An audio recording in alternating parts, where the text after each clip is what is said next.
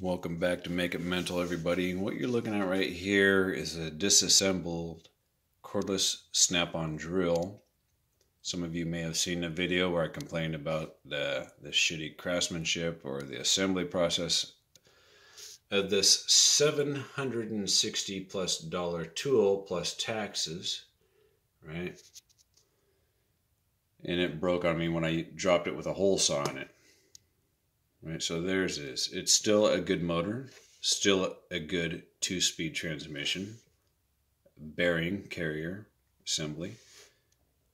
Part of the chuck, the square end, fits in, turn it to a better light, fits into that square end, right? So that fits into there, like so. All right, so that's the shaft. Then this part right here threads into here on the bottom side. And this screw right here drops down inside and screws into there. That screw, you should decide to want to do something like this, this screw right here is a reverse thread. It is totally the opposite of what you might think. Normally it's righty-tighty, lefty-loosey. This is the reverse of that. So be aware of that. This is the part right here that I'm primarily after. Now that I got the motor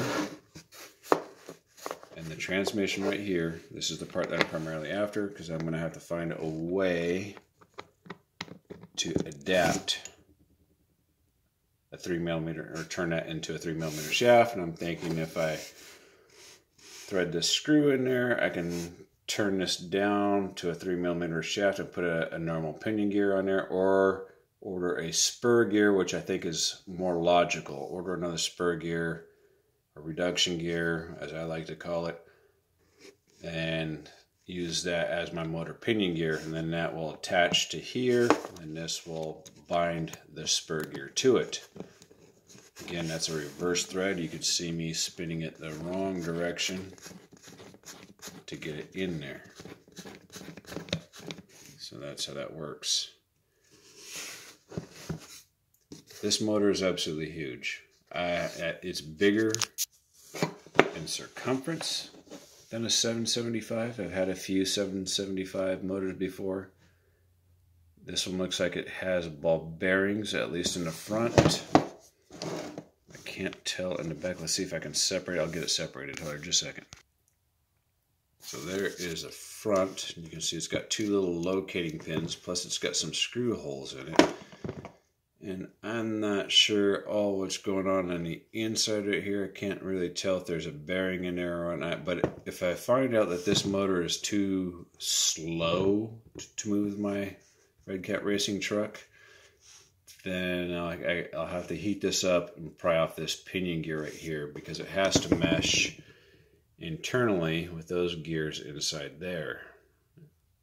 Right, so that's how they get the gear reduction that, that pinion gear, this motor pinion gear, sits inside there, spins the other little gears that spin around, around, around, and then it turns a bigger gear even slower. Then this mechanism right here engages a secondary transmission, which reduces it even further.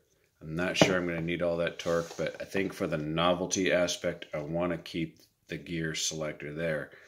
I don't know what I would do with such a torquey vehicle, but I hate to throw things away that are still in perfectly good working order. So if you guys are curious and you guys want to do something similar, this particular snap-on drill at, from 18 volts, 0 to 500 RPM in low gear and 0 to 1700 for the sake of argument, 1700 and something in high gear. That's at 18 volts.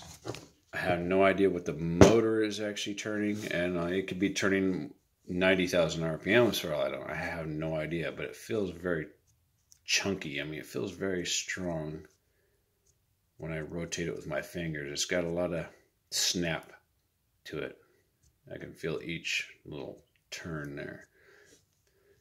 Feels like a good motor anyway, so I'm going to use that I'm going to use this, and then I got to figure out a way to turn this into a shaft usable to drive the Redcat Racing truck. So there is kind of a side by side. It's kind of hard to tell. It doesn't take up much more space as far as depth. So it's probably a 775 in depth, maybe. Uh, it's kind of hard to tell realistically at this point because I haven't taken the vehicle apart enough. But by the time I add the transmission in there, the ESC is going to have to go. This, this ESC, by the way, is toast anyway because I, I, I blew it. And so I'm going to have to relocate that and I'm going to have to do something with with this plastic stuff here. I'm not sure it's all necessary. I think that the servo is secured to the bottom of the chassis, but I, I made a skid plate on the bottom of this one, so I don't remember. So I think it's definitely doable, and it's going to be more easy than I thought. And I hope you guys get inspired by something you see here. Again, if you get ready to throw something away, or maybe your brother or sister or aunt, uncle, somebody's getting ready to throw away one of these things, take it from them. Take it apart and see what's inside of it. Maybe you'll be able to customize it for some, some similar application like this one.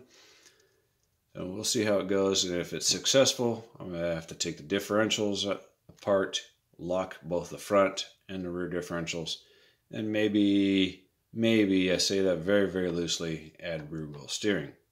I don't know yet. But this is first, get the motor working with it. Reduction gears already in here.